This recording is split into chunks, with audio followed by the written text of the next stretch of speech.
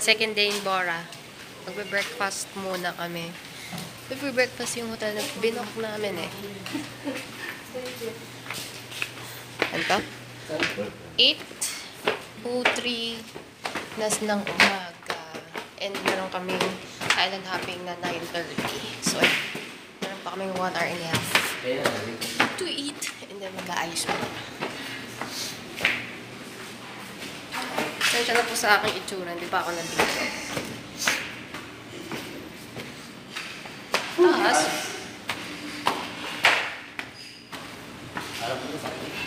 Taas namin. Lalapit ko na. Bakit hindi siya naka-ano? Ayan nga yung sabi ko sa'yo.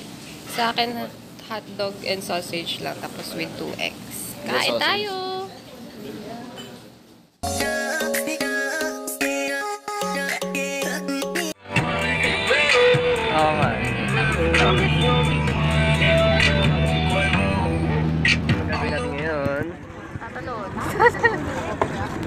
Bayan, magta-snorkeling tayo. Maghanap tayo ng isda. Takot eh.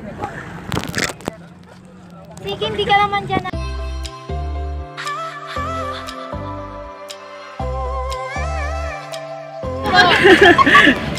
Hindi naman tiyo. Binabati ko lang ang trabaho sa atin. Oh,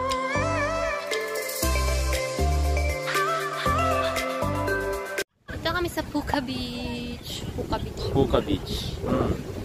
25 minutes lang kami dito. O, picture-picture lang daw. Ganda. Pero yung sand niya, ano eh, maraming shells na maliliit. Hindi siya yung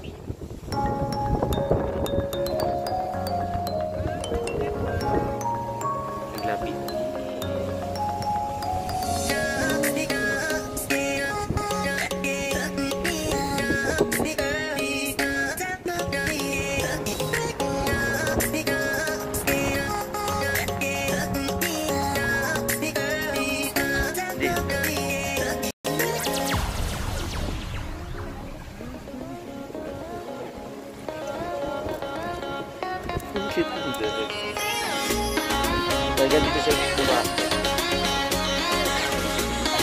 Magamit na mo ta.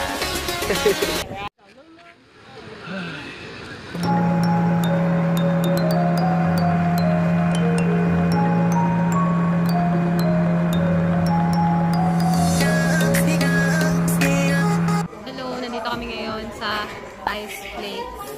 Order kami ng mango. Mango. Because tawag ko sa mango flavor. Anyway, tikiman na namin. Tikiman natin. Dali.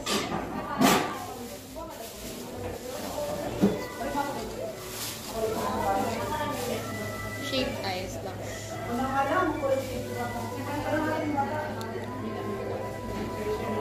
Mm, sarap. Pantay ko sila. Sarap.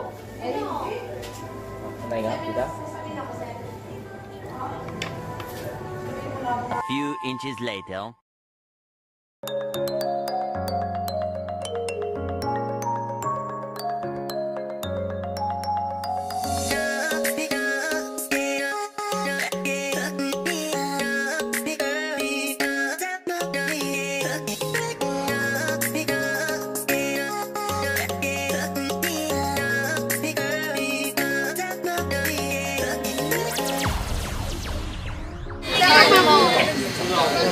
Hmm? Short.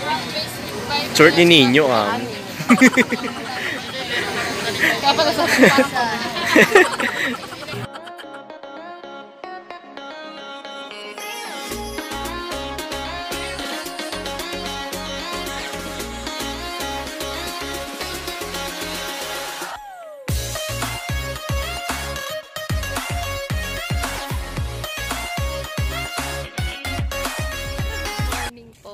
Sorry, hindi ako nakapag-outro kagabi dahil sobrang pagod namin sa mga activities na ginawa namin.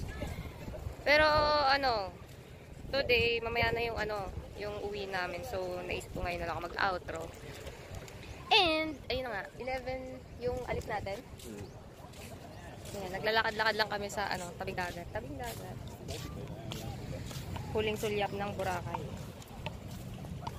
Hindi ako magsiswimming kasi babasa lang yung damit namin. Mabigat sa bagahe. Anyway, thank you for watching our vlog. My vlog. And sana nag-enjoy kayo. Ayun lang. Bye! Mama chup chup.